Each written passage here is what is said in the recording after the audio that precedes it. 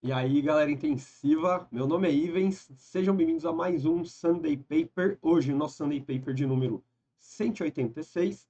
E no Sunday Paper de hoje, a gente vai falar se um protocolo estruturado de atendimento da fisioterapia pode melhorar os desfechos nos pacientes de desmame difícil.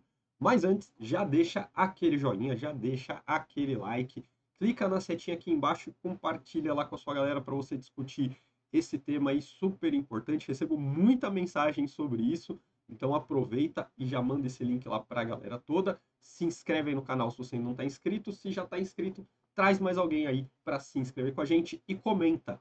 Vocês já têm uma abordagem estruturada, sistematizada, protocolada na abordagem esses pacientes, principalmente de desmame difícil, né? Então me conta aí como é a rotina de vocês e bora lá dar uma olhada nesse artigo de hoje, que foi publicado no Journal of Critical Care, agora em 2023, e tem fator de impacto de 3.7.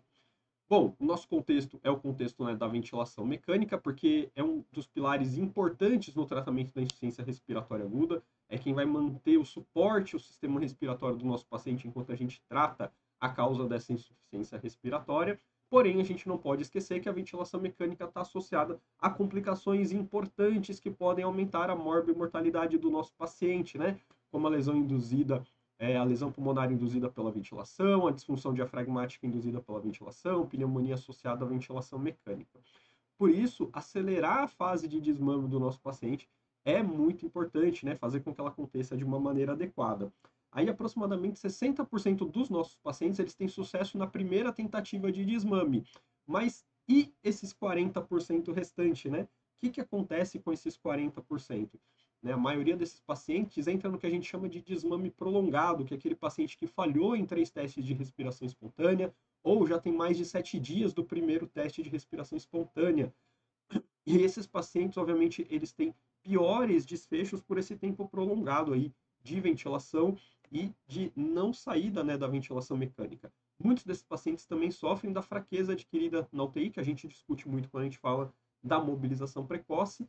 E para esses pacientes que estão presos aí na ventilação mecânica, né, a reabilitação também é uma estratégia importante para essa liberação da ventilação mecânica. Então, o objetivo desse estudo aqui foi analisar uma abordagem protocolada e sistemática de atividade física, né? Aqui basicamente de atendimento da fisioterapia nos pacientes com desmame prolongado, e a hipótese é que assim a força seria melhorada e, consequentemente, o tempo de desmame da ventilação seria encurtado. Então, eles incluíram aqui nesse estudo pacientes com mais de 18 anos, né, adultos em desmame prolongado. É, eu coloquei aqui como intervenção e controle, mas na verdade é um tipo de estudo de antes e depois, né, um estudo observacional então, o que ele vai ver né, como intervenção vai ser a adoção desse protocolo sistemático e o controle, o que foi antes da adoção desse protocolo sistemático. Os desfechos, né, desfecho principal, a pontuação da escala SOMS, né, que é a Surgical Optimal Mobilization Score, e o força no hand grip, né, na força de preensão palmar, e como um desfecho secundários tiveram vários, eu coloquei aqui, né, taxa de sucesso no desmame, enquanto os pacientes estivessem internados aí na UTI.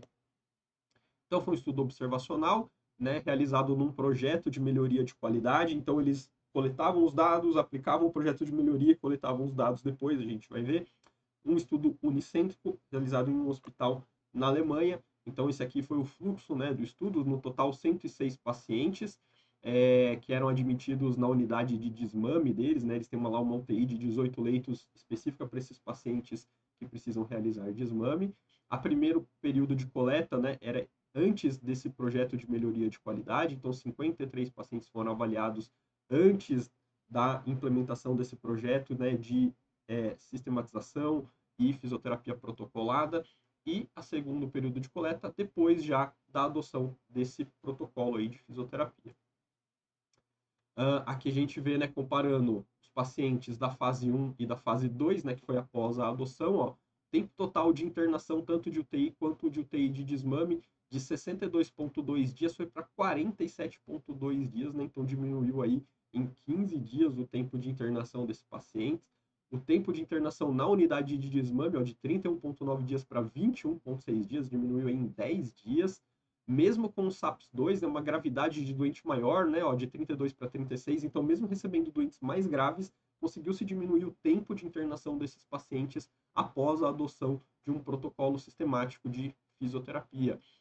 A gente vê aqui também no final né, o tempo de ventilação mecânica, 40,4 e 31,3 dias, então diminuiu aí em 9 dias o tempo de ventilação mecânica.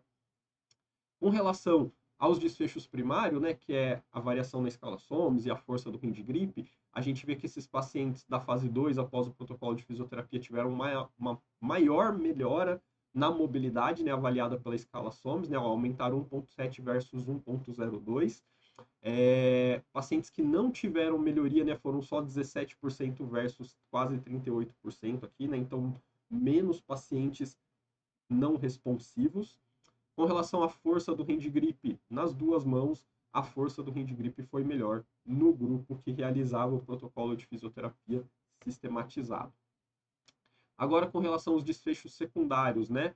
A mortalidade, ó, 15% foi para 3,8%, então a mortalidade caiu nessa UTI de desmame também. A incidência de pneumonia, né, ou sepse por alguma infecção pulmonar, de 77% foi para 13%. Olha como caiu muito, né, essa taxa de piora pulmonar. Também por sepse, é, por urosepse, né, infecção do trato urinário, de 41 para 11%. Delírio caiu de 62% para 43%. E a taxa de fraqueza adquirida na UTI de 41,5% foi para 26,4%. Então a gente vê uma melhora bastante significativa aqui, né? É, de complicações importantes de pacientes internados na UTI. E, quando, e aí eles fizeram né, uma regressão multivariada para entender quais eram as variáveis que estavam relacionadas com a mudança da mortalidade. E a gente vê aqui né, que um protocolo sistemático da fisioterapia estava relacionado né, de maneira independente na análise multivariada à diminuição da mortalidade, ou seja, ao aumento da sobrevida nesses pacientes. Né? Muito interessante ver como a gente pode impactar não só aí na ventilação mecânica, mas como também na sobrevida desses pacientes. Então, a conclusão que a fisioterapia protocolada e sistemática resultou em melhora do desfecho clínico em pacientes com desmame prolongado os resultados foram objetivados com as com SOMS, né, Surgical Optimal Mobility Score, e o teste de preensão manual. Muito legal esse estudo, né, apesar de ser estudo observacional aí, mostrando né, como pode ter impacto da realização da fisioterapia de maneira sistemática, protocolada. O que quer dizer isso? Que todos os pacientes são avaliados, são triados, recebem avaliações objetivas, né, aqui a SOMS, o Hand Grip, para receber então a sua intervenção e todos vão receber isso de maneira sistemática também. Isso é muito importante. Não dá para fazer só para um ou outro quando dá tempo. Tem que ser feito para todo mundo, para aí sim a gente ver essas mudanças nos desfechos, tá certo? Então, não esquece de deixar um joinha aí, de curtir esse vídeo, que isso me ajuda muito. Compartilha também para levar a mensagem aí para mais gente, para você discutir aí com a sua galera. Não esquece de se inscrever no canal e de comentar né? O que vocês acharam aí dos resultados? Como que é a realidade de vocês aí? E eu vejo vocês no próximo vídeo. Até lá!